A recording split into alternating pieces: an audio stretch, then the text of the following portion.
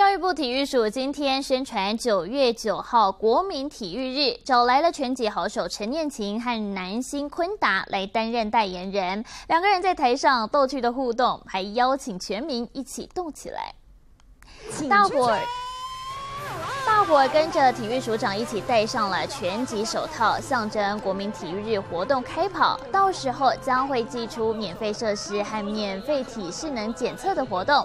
看看台上，一位是十六吨男神，另一位可是拳击女王。两个人首次合体，也是推广运动风气，邀请大家一同响应。